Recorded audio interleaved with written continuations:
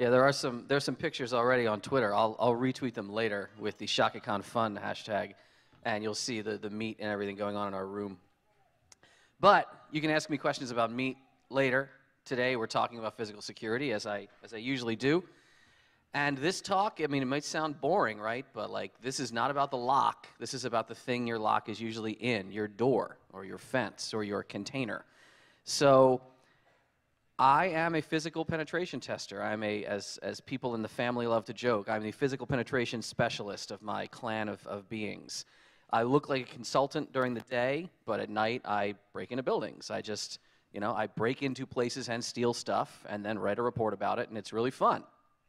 And as the core group has grown over the years and we've pinched people from government roles and from law enforcement, we're, we're basically just professionally dangerous folk at this point. We teach people a lot of combatives work, we do a lot of restraints escape, we, you know, we, we do a lot of really fun things and people, you know, blow a lot of smoke up us and uh, make us make us seem way more awesome than we really are. If you want to learn how to bust out of zip ties, I'll show you. It's not as hard as it looked in the James Bond movie.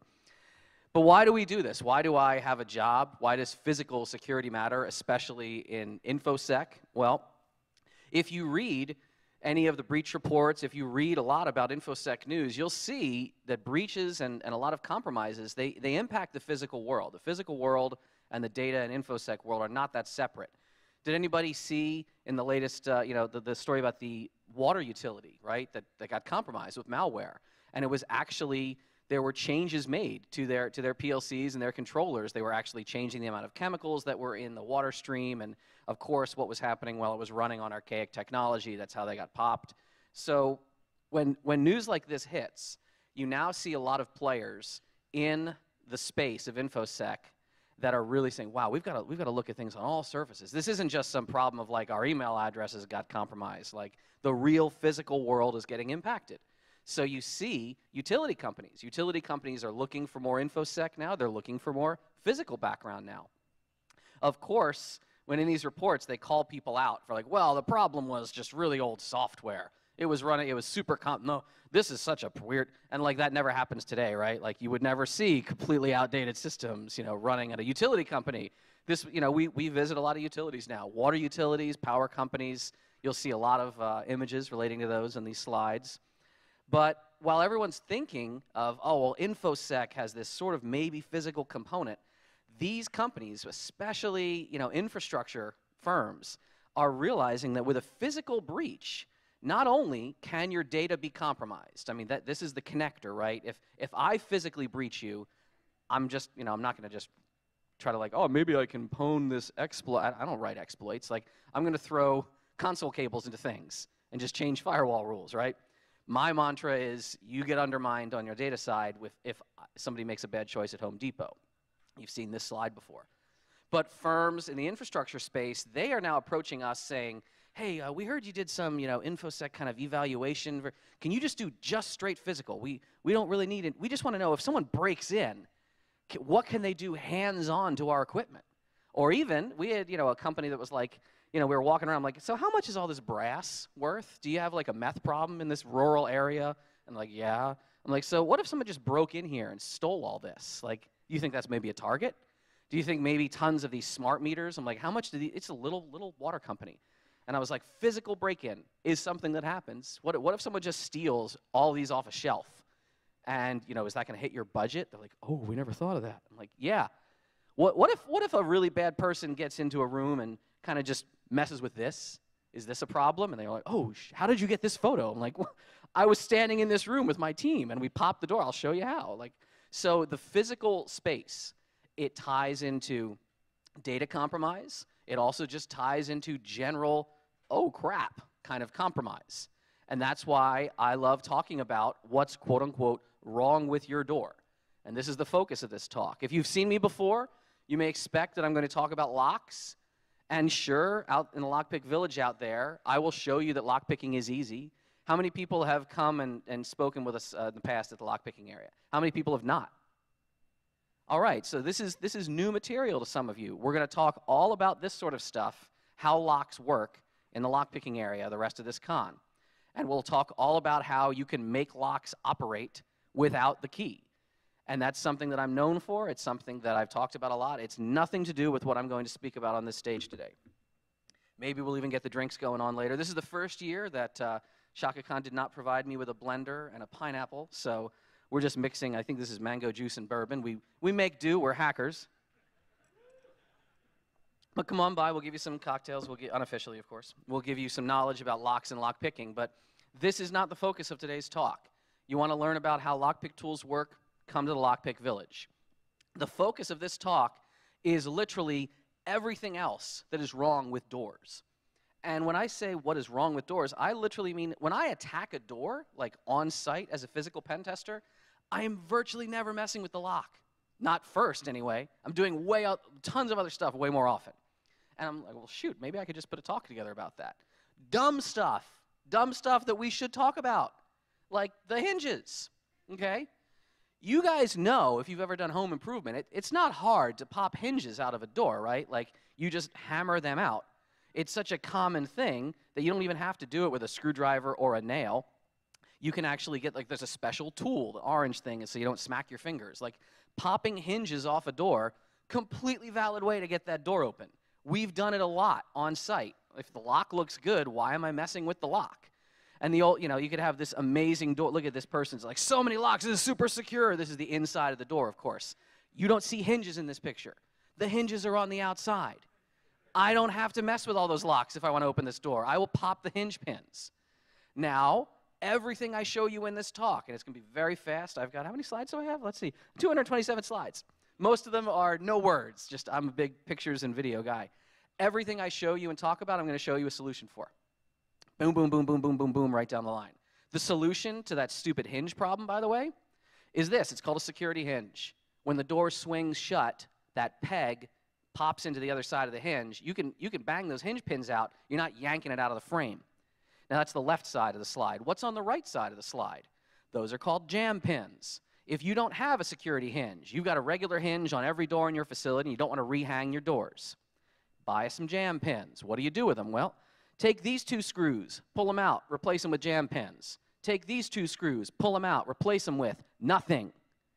You now have a security hinge. Doesn't affect the door at all. Easy, stupid install. Bam, done. Hinge pin problem gone. Simple. What about the latch? You've seen some footage of like the, in some of my other talks occasionally when I talk about latch slipping. Maybe uh, you've seen me talk about some tools that a buddy of mine spread out on a table once when I met him. A friend of mine named Keith. I was like, Keith, uh, you were an actual trading locksmith. I would love to. Do you have like, what was your field kit? And he spreads a bunch of stuff on the table. I was like, huh, oh, that's anticlimactic. All right, I guess a locksmith does a lot of servicing work in the field. It's, it's not really all penetration. He's like, no, what do you, this is my entry kit. Here, Deviant, these are my top three entry tools. I'm like, really? He's like, oh, yeah, I slip latches all the time. And I said, well, what is that thing in the middle? He goes, I don't know, found it at a flea market. I just call it a Carolina roller. That's what's stamped on it. I tracked it down. Carolina Roller is a textile like supply firm. They work in the textile and garment industry. And I said, "Hey, uh, your website's terrible, but I think you make this thing. It's on the homepage. Uh, can I buy it?" like, "Yeah, what? It's the, the traveler hook." I'm like, "Yeah, yeah, traveler hook. Give me a hundred of them." And they said, "What?" I said, "Look, uh, you're based in North Carolina. I don't think you speak Pashto or Urdu, and this industry is dying in this country. Ship me these while you're still in business." So they did. And now, like Traveler Hook, this is our go-to attack tool for, for door latches. So here's a locked door and a big power, you know, this is a water company actually. And like that door is open. And they said, what? What do you, is it really? I said, yeah, let's try that again. Not a, not a goof, not a fluke. Yeah. So what the hell happened there? What, what am I doing? The Traveler Hook or any type of thin, slim tool this is like it's it's like credit carding a door. If you've ever seen old TV shows, like I grew up watching I Spy back when you were allowed to make Bill Cosby references culturally and it wasn't gauche. But like that the whole credit card a door thing, also known as loiding or latch slipping, using thin tools to get in the door jamb and retract the latch is a totally valid technique. Now there are some people say, "Oh, we got these plates over our doors, and you know we've heard about latch slipping. You can't. Uh, we got a protective plate."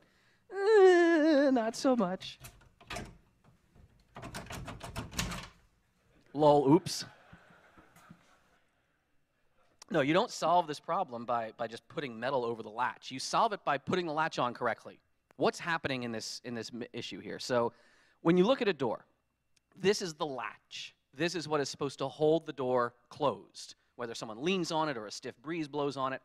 And for a long time, that's all doors had. Remember when doors all look like this, right? But now they look like this. What is this other thing? What is this other button? That is not the latch. That is the dead latch plunger or the dead latch mechanism. And unless you know how these work, you might not realize when the door is shut, that's supposed to be held back by the strike plate. Have you? I actually had like uh, my family members. One of them they had a shore house, and we are down the shore house, and I would close the door, and a guy comes around, and he was like, "Hey, you didn't close it." I'm like, uh, "Do you know my job? I think I know how doors work." And he goes, "No, no, no," and he pressed harder on the door. He and it clicked again. He's like, "See, now it's like really closed." No, no, no, no, no, no, no, no. That's completely wrong. He was pushing the weather stripping in, and the little dead latch was popping out. That's completely wrong. That's what I exploit half the time. Improper door fitment, improper strike plate fitment, something where the dead latch plunger is not being depressed and held in. That latch is, is completely slippable and shimmable. If that plunger is held in, you can't mess with the latch. You can't push on it. That's why it's a dead latch. This is a huge problem in companies that have electronic card strikes and such. So here we have a door. We're going to open it with a piece of garbage that we found. Look at the size of that strike plate hole. It's effing massive. Why? Because this is a solenoid style, badge reader connected electronic strike plate. They come in all different configurations for all different doors. Many integrators and contractors will just keep a stock of the one with the biggest hole because it'll work on any door. When they're doing a job and they're just swapping out door parts, I can always use the 21J because it's got the big hole. No, man, no, that is bad. That is really bad. This is another company, uh, the same problem. Bobik, co-owner of the firm, he looks like a effing ninja here. This is not an unlocked door. He just low loops, boom. That badge he's wearing, it's just like a blank badge, does nothing. You can see the plunger, the little security plunger, is not engaging that it. strike plate is huge. And again, we're just again we just kept walking around this whole corporate campus. That was like the packaging from a Linksys router that was in like a trash can. We just ripped it up, shoved it in door frames, and it was opening everywhere. Uh, I was out at a water facility in you know rural somewheresville, and I said, "Hey, can I shoot some foot? I want to try to uh, pop this door." And some some of the guys that I was walking around with, they were doing their morning rounds, and they're like, "Yeah, give it a give it a try. See what you could find." You can almost hear the guy. He's like, wow, that didn't take you long at all. So yeah, you know, I could complete I just improper door fitment. That was the only problem, and it was everywhere. And what was in here? You know, like pump controls, well controls, places you don't need people to be. Here's another door. Different facility, same so industry. Proper, you know, so lock nice lock actually. They had some good locks, but I, I was showing them. I'm like, no, this is bad. This is very very bad. And like, I'm a jackass. You don't want me in here. There's nothing about me that belongs in this building. So, simple stuff. You can fix that if the door is just fit correctly into its, into its surroundings and the, the, the dead latch plunger is working. What about inside the door? Now, this is not talking about the latch now. I'm talking about the inside handle of the door. If you're on the secure side of the door, I leverage these all the time on jobs. Here's a door with a crash bar. It's locked. That was a bent piece of wire. Let's, let's actually watch that again. Locked door, middle of the night, and I can just come along, clack. Why? Because the door is going to open. This is fire code in a lot of buildings. Unless, can anyone tell me what they could have done late at night to prevent this? Yes, what is, what is below that? It's the thumb turn for a deadbolt.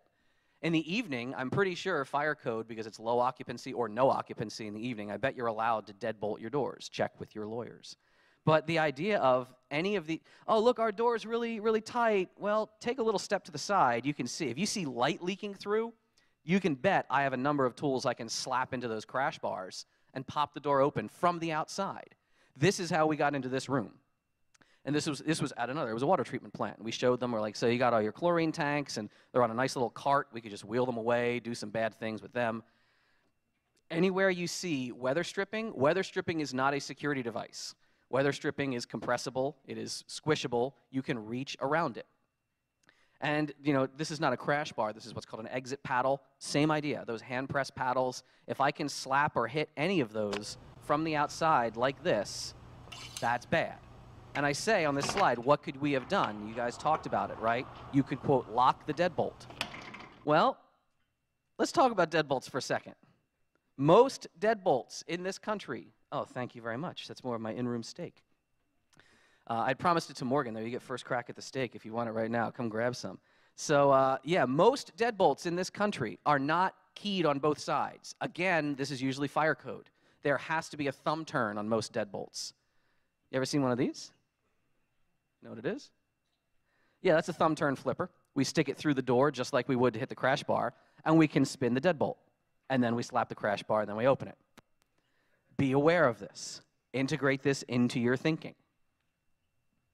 Key boxes. Oh man, do I love key boxes. When I find them on jobs, it's usually because some other authority or regulatory person or inspector or maintenance person needs to get in to that infrastructure. Uh, nowadays, by the way, oh my God, electric and, and water companies especially, they're going to have tons of key boxes outside their fence line because of how much cellular infrastructure, telco infrastructure, is up on towers.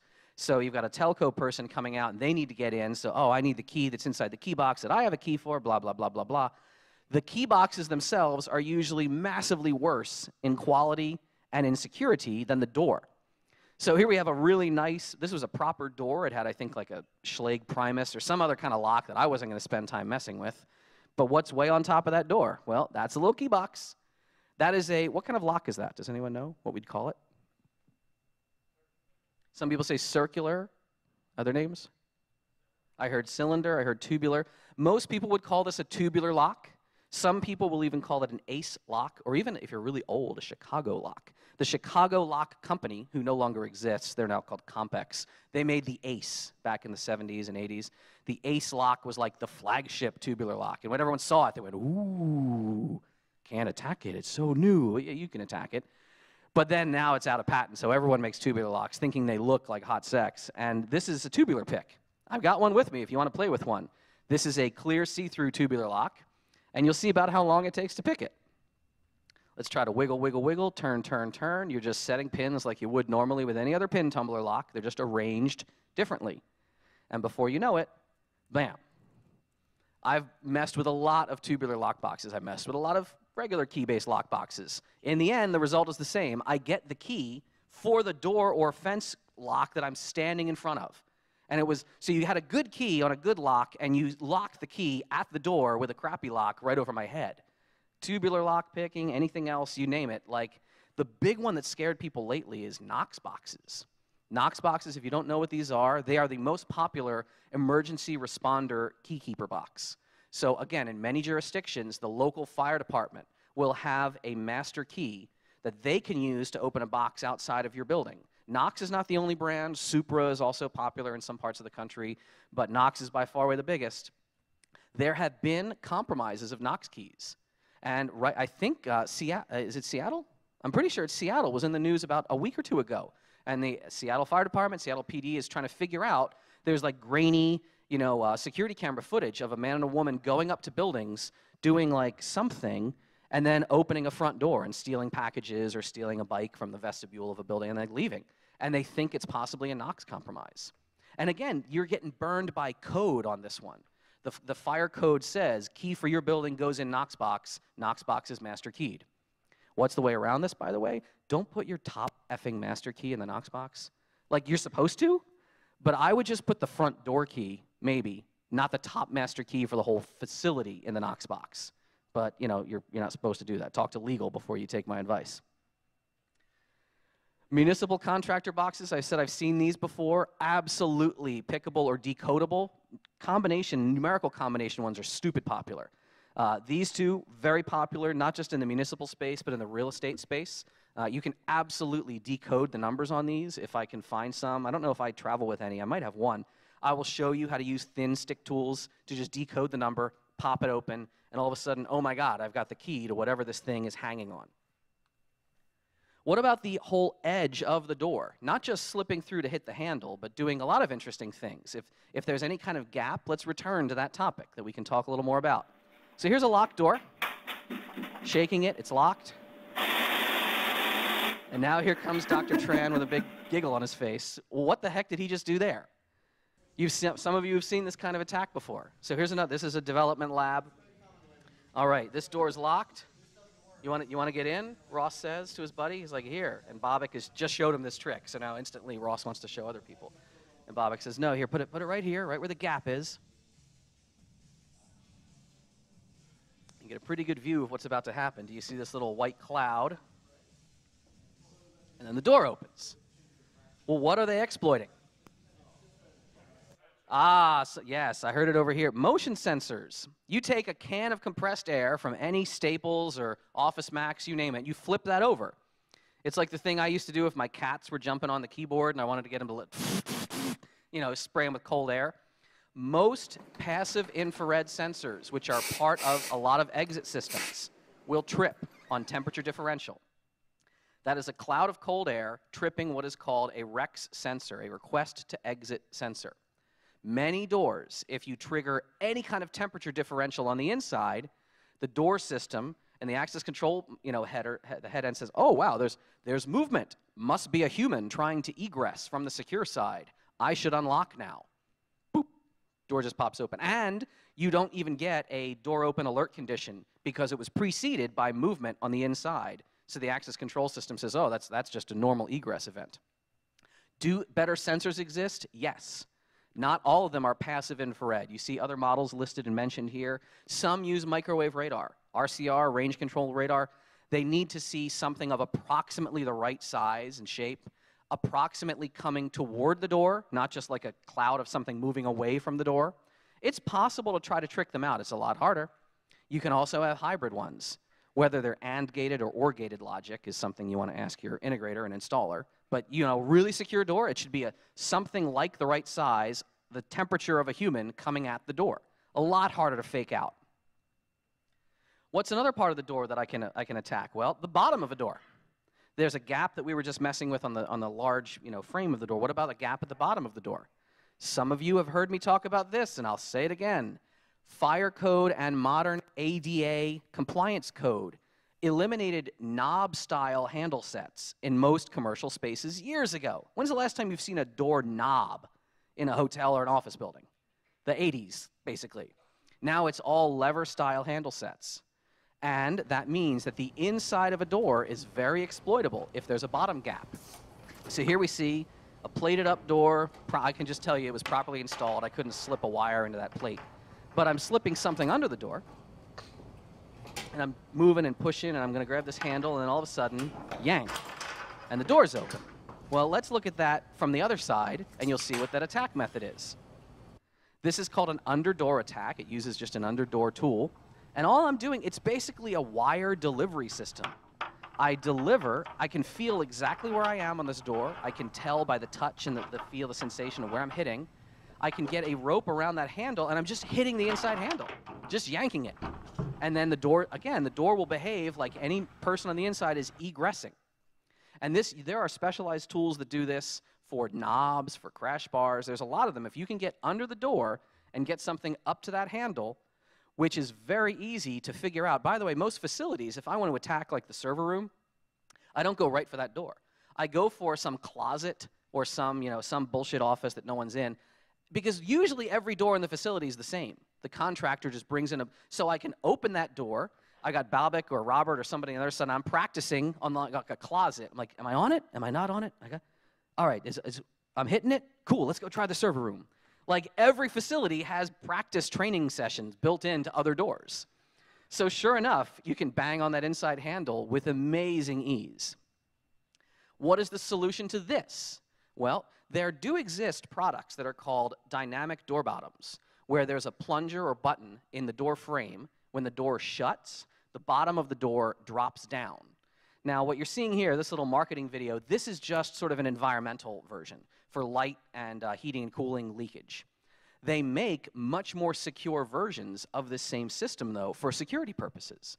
So there is something, basically a, a company, a brand named Pemko, which is now a, a sub-brand of ASSA ABLOY, who owns everybody in the security space nowadays. Pemko makes this dynamic door bottom that has interlocks, and if the door is shut, like you're not lifting that up. This is not a little rubber sweeper on the bottom. This is a metal bar that drops down, hits a contoured floor plate. You're not getting anything under that door to mess with the other side. Beautiful idea. You can mortise it into the door, or you can just, this one shows it just bolted onto the back of the door. A couple hundred bucks, you know? You don't put it on every door in your office, you put it on the most important places, and it does a really brilliant job. You don't have that kind of budget? There are hackier solutions that will frustrate the hell out of me, especially if I'm going in blind. I'm like, why is my frick? I can't hit it. The god damn it, damn it. And then eventually we get in some other way, and I'm like, oh, look what this freaking thing, the shroud on the god damn it. And wasted 15 minutes of my life.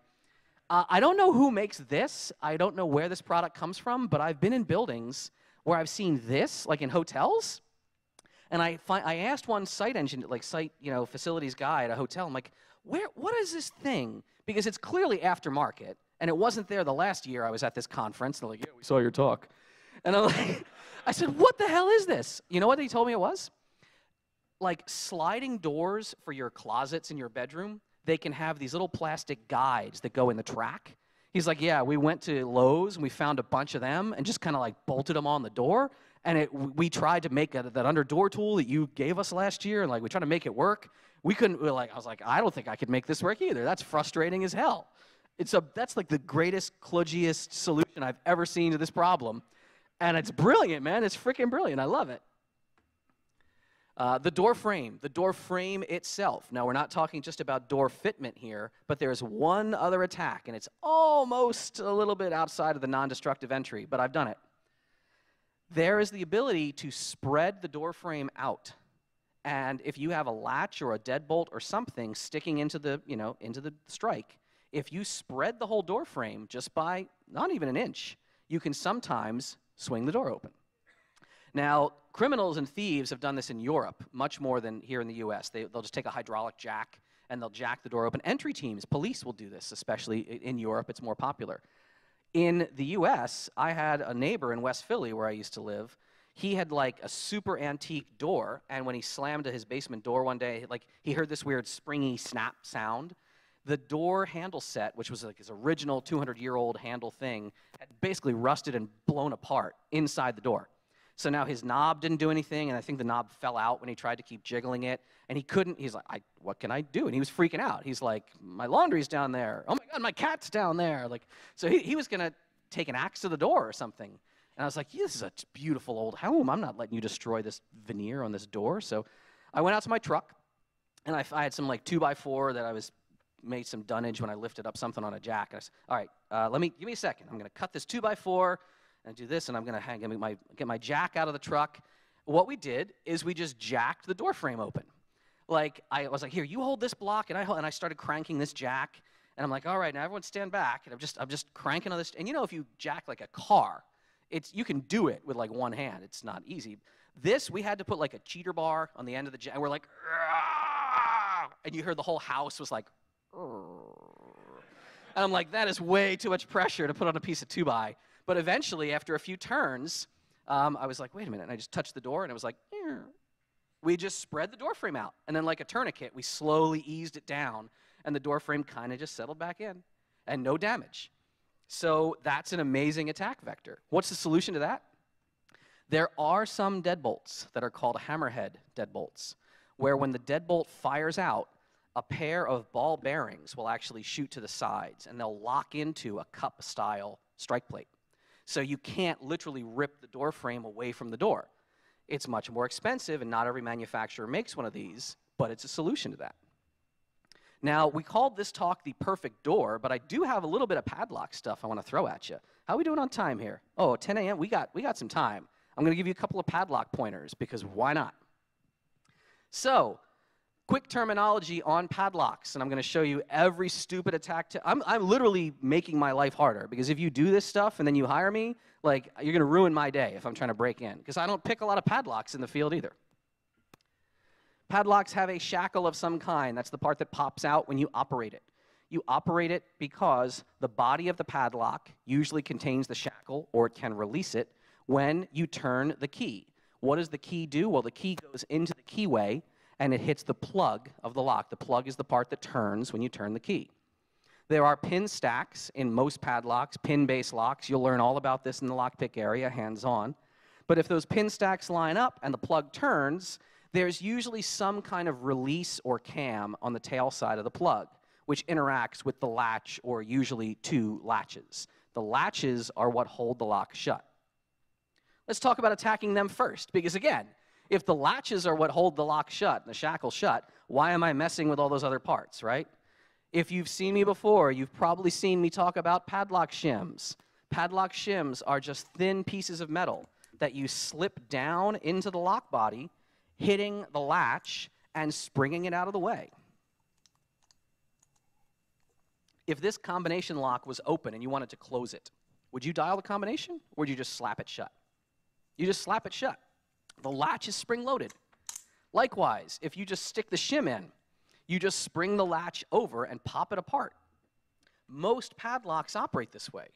Unless you have a high quality padlock, you can slip a padlock shim down into the lock body and just spring that latch out of the way, and there you go, the lock just flies open. There are locks that prevent this, but how often do people talk about this? Not very often. Here's this big, beefy looking padlock, right? And sure enough, click, bang, lock swings open. Two cent piece of steel, easily done. Now you can purchase them, like the, the store bought shims, you can make them. You can make them out of beer cans. We do this all the time. I probably have some aluminum cans in my stuff. If you want to try it, we get some scissors, you cut you up some padlock shims. Some locks have single latches, some locks have two latches. Doesn't make the lock any better. You know, oh, it's got two latches, one on each side. Yeah, you just need two shims. Put one on one side, put one on the other side. Those little latches are just, again, they're spring loaded. They say, oh, something's pushing on me. Must be the shackle coming down. I better get out of the way. Boom. This is ridiculous that it's so easy, but most of the locks on store shelves today are vulnerable to this technique because nobody, nobody really talks about this. Master Lock, of all people, is finally producing some gear that they're like anti shim. Uh, you can totally check YouTube for anti-shim padlock being shimmed. And you'll see video of us like at Black Hat doing it. So yeah, this is not hard. What is a proper padlock in this department? A padlock that doesn't use a spring-loaded latch. This is called a double ball mechanism. These are two solid steel ball bearings that only fall inward if this cammed control cylinder turns. That is a nice lock. That is a, that is a non-shimmable padlock. Not all padlocks are constructed this way. Not all padlocks are this robust. They're out there. They're not crazy expensive. I'll give you some good examples in a bit. What about attacking with, quote, skeleton keys? Is that a thing that exists now? Is this a piece of history? Is it arcane? Well, let's talk about it. Warded locks. Again, because I work with a lot of utility companies, these are ridiculously popular outdoors. Warded locks have this very square looking key. What's going on inside of a lock with this very square cut key? Well, a warded lock has protrusions of metal. These gray bumps are called wards. There's only one like latch or catch or release in the lock usually. So it's almost an inverted security model. It's not the lock saying to the key, hey, are you the right key or are you the wrong key? I'm not going to let you turn.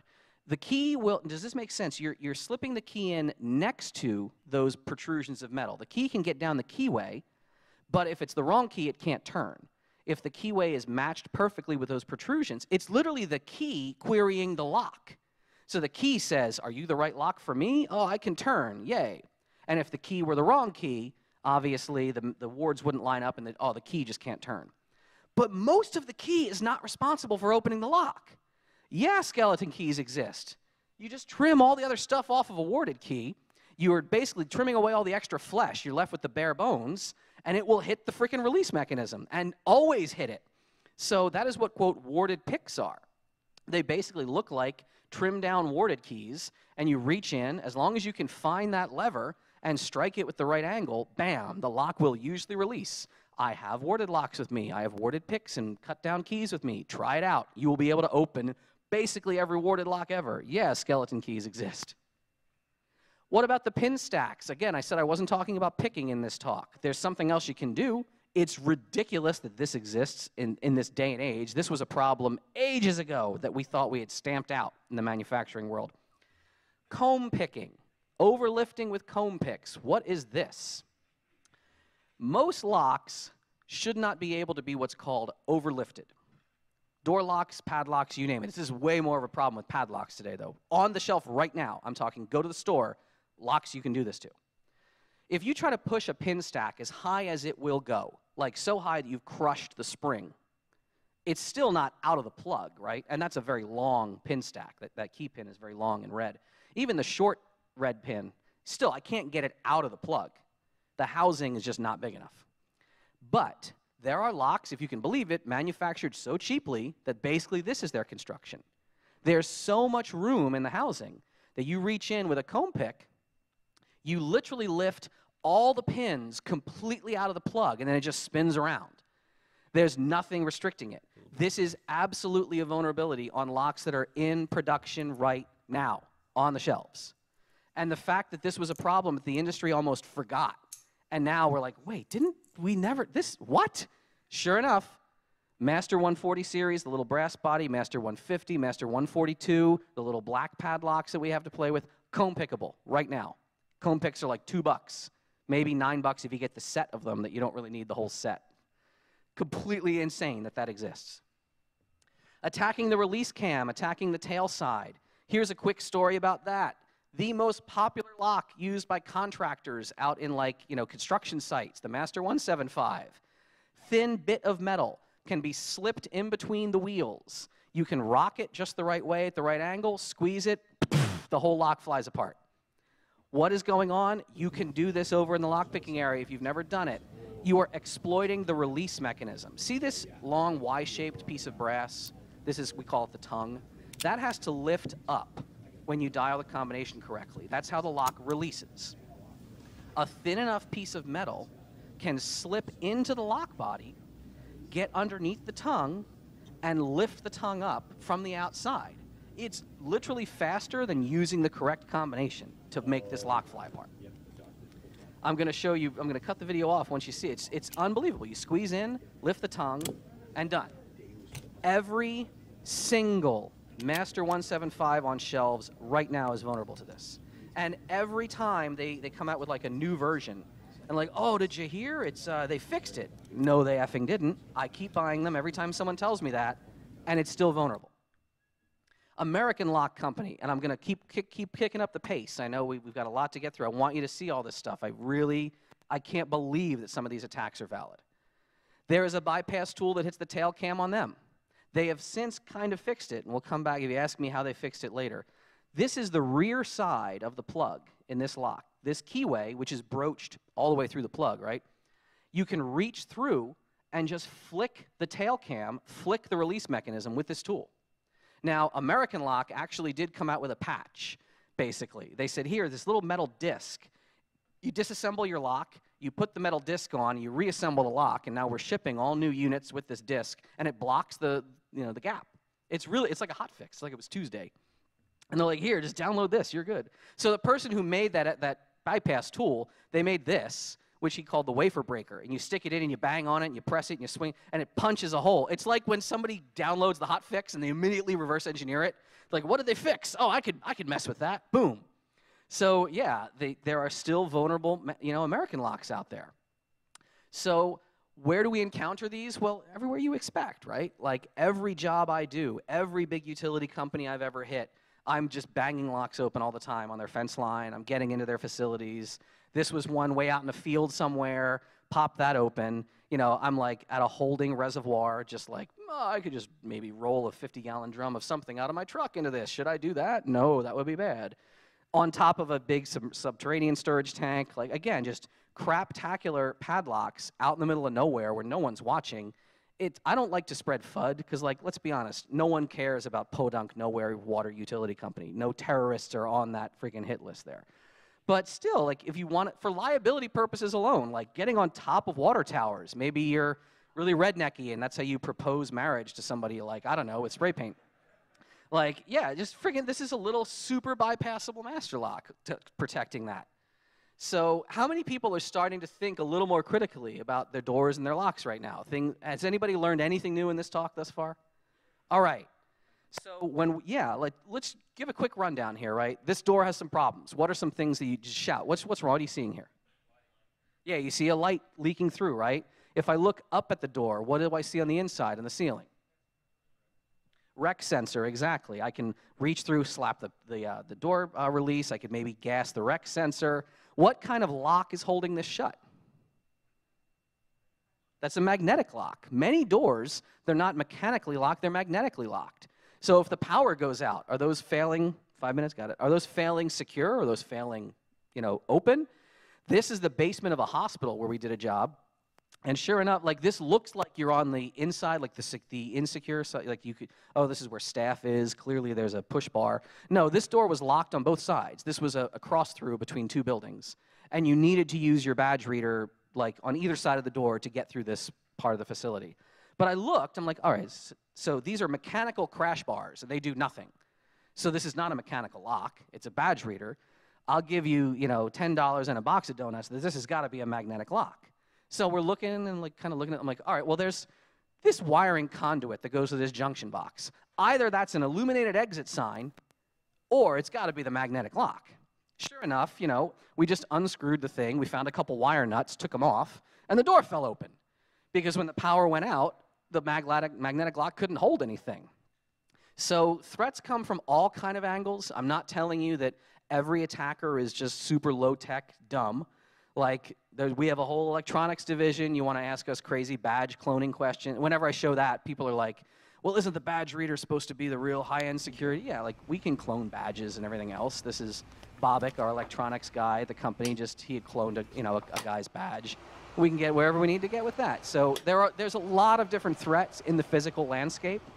It was really a point of pride for us, by the way, that so Babak's latest project is to take a giant, you know, R90 badge reader that you'd see in like a parking garage, and he's re-gutted it. So we call it the hunt pad. It just he just throws it, battery packs and everything. He just walks around with this in a laptop bag, and he clones badges. It was nice to see that featured in Mr. Robot, if you watch Mr. Robot. But um, yeah, threats come from all angles, but keep the dumb stuff in mind, please. So really quickly, just to summarize, those padlocks, attacks and mitigations, right?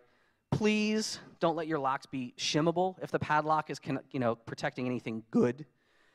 Don't use warded locks for anything. They're awful. They can all be skeleton keyed. Don't let your locks be overlifted. There's only a handful of locks that are super popular right now that are vulnerable to this, but everyone's buying them because they're super popular. And the release cam, you know, make sure that the, your system is not just easily slip bypassable. I will tell you about which models can and can't be bypassed. I have a whole little, I, I don't work for any of these companies, but I have a list of locks that I just love. And we can talk about them more in the Lockpick Village area. For, for padlocks, like, you can get super crazy, amazing, you know, Abloy system. I love Abloy locks. Like, there's some serious cash on those. But if you want to go with just like a couple that Abus make, there are locks that you can, you'll notice, why do I like these? You can recore them to match your door locks. Make it easier on your facilities team. If you can have like Schlage locks around your building, you can rekey and recore a lot of the Abus gear with removable cores in Schlage or in Kwikset or in whatever you're using at your facility for not a ton of money. You can get locks like padlocks that work well. of course, you're spending some dollars on the first install when the locksmith keys them up, but then you're good. The door attacks, wrapping it up on the door side. What did we talk about? The hinges, security hinges or jam pins, stupid easy to use. Slipping that latch, right? Loiding the latch, get an anti-thrust latch and make sure the door is properly fit. Getting the inside, like if I'm slapping that release bar on the inside, get a really proper good deadbolt that I can't, you know, flip with a flipper. Or again, just door fitment. Get the door tight enough that I can't reach through it. Please don't use key boxes unless you're required by code, and then have legal ask if you can get a variance. You work for a data center, you've probably got a low occupancy facility. You may not need a firebox or a keybox the way you think you need it. The big edge gap where we're blowing air in the sides, again, get better sensors on the inside that it's harder to fake, or put, a, put an actual block, it's called a security astragal. It'll slap shut when the door closes. If you ever have a fridge that has two doors, and when you close the fridge, the door like clicks like that, they make those for office doors. The bottom gap, again, you could put a security door bottom underneath there, or a blocking shroud or something on the inside so I can't grab the handle. And as far as spreading the door frame, virtually no one's doing that, but that hammerhead deadbolt does exist if you want to use that. Now, this looks like a lot of stuff, but it's really not. Not every door has every one of these vulnerabilities. And every solution that I'm showing you up here is not insanely expensive. You could have the worst door imaginable in your server room that is vulnerable to all of this, and you have to do all of this, and you're out like, you know, maybe a thou. Really less than that, honestly. So, in the end, I love the simplest solutions. This was a utility company where I'd shown you that like latch slip. And I was saying, I'm like, look, so that the strike, what you had was door drift. And the door over the years, it just, you know, it wasn't quite hitting the strike plate. There was a locksmith uh, ledger article where someone, the guy was like, yeah, so we had some door drift. We just put a little plate of metal and put the strike plate back on, and now the anti-thrust mechanism worked. Like most of these problems, you are solving with your facilities team doing a couple days work around the door sites, just tightening up some tolerances. A bag of tools gets you way more protection than a whole lot of other stuff that people are trying to sell you. And I'm happy to talk about that. I'm happy to walk around your sites one day if you want to bring me out. It's not hard. Just please stay safe out there, and thank you for listening.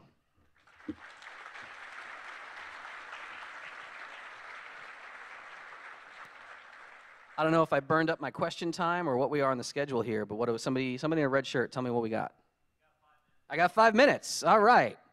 Who wants to know anything else about meat cooking in your room or or doors? Am I selling lockpick kits? Technically, I am because the core group owns redteamtools.com because so many people ask us for lockpicks now that we got tired of trying to like, you know, carry them everywhere. Um, it's way easier if you just go to redteamtools.com. The shipping is super cheap, and we will just send them anywhere at all. So I did not bring a ton. I wanted to bring more contest gear and other fun stuff to play with. But yes, we do. We do sell the stuff we use. Um, we're not like a proper retail shop. We're out of stock a lot, but yell at me via email, and yes, I will sell you the nice lockpicks. Anyone else? Over here. How sophisticated is the temperature control mechanism I'm using on the sous vide? It does half degree Fahrenheit increments. And uh, yeah, I have the Anova. Uh, who you saw, he has the Sansaire. Uh, we got Robert, the old Anova, when he got married. So like every one of us, like seriously, I'll talk sous vide all day. I'm just like, I got a steak sitting right here. I'm just gonna, you know, start eating this in a second because why not? Infinity steak everywhere you go. Any other questions? Yes, sir.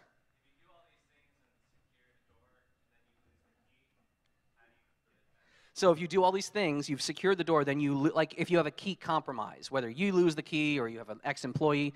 Um, when I was talking about the padlocks that I like, I mentioned the removable core, specifically the LFIC, large format interchangeable core. That's a really good standard to go with nowadays. They work in both door locks and padlocks. Having a removable core system makes it monstrously cheap and effortless to basically instantly rekey your door or your whole site once you've stood up the system and paid to get it installed, it's beautiful that way. So key compromise almost becomes not a thing. Anyone else? Ah, what do I think of TSA compatible locks? So immediately after Shakacon, I will be flying back east, and on the mainland, I'm speaking at Hope in the New York City area. Uh, Hope is a, yeah, it's a, who goes, to, anyone go to New York for Hope? Not too many people. 2600 mag, oh, Jason, you're there. So there is a talk this year by some friends of ours, uh, like Night Owl and Click and uh, I guess Johnny Christmas and, and Sean. They're all talking about the TSA key fiasco because the TSA keys are like all super compromised. These are the luggage locks. Uh, all of us have those keys at this point. They're very badly made locks to begin with, not to mention it's just super lousy how people have decoded them from photographs and PDFs that were online. I don't fly with uh, TSA locks. I have proper heavy alloy locks on all my cases whenever I travel, and I do that by throwing a firearm in every case usually. My favorite thing to do now, by the way, if you've ever seen my old Flying with Guns talk, is I just have bare stripped AR receivers, which are, you know, for like 50 bucks, that's a firearm. And it's like indestructible, you can't bang it up. And I just throw it in the case. I'm like, oh, I'm flying with guns, gotta lock that up. So if you fly with a firearm, you use proper locks, not TSA locks on your bags. Anyone else? That got a few laughs. Yeah? Yeah, yeah. Just, I mean, like a strip lower, like a block of aluminum. Doesn't take up any space, it weighs nothing. sometimes people, they're like, sir, where's the firearm? And I'm like, here. They're like, no. And I call someone from the airport unit. I'm like, officer, what would happen if I sold this to this guy across state lines with no paperwork? He's like, that's a, that's a registered receiver. You, no, that's, that's the firearm. Like, Thank you and good night. Yes, right here, Jason. Yes, do I sear the sous vide steaks? Absolutely. You got to have a good Maillard reaction. Um, I use, uh, in my road kit, I have a cast iron pan. It's always with me, Lodge 10 inch. But I do have a Searzall adapter on my TS 8000 blowtorch head. So, $2 bottle of propane gas at the, uh, you know, at the, at the grocery store. You get your complimentary shower cap from uh, like concierge. You put that over your smoke detector in your room. And um, yeah, you just couple, couple minutes aside and you're all set.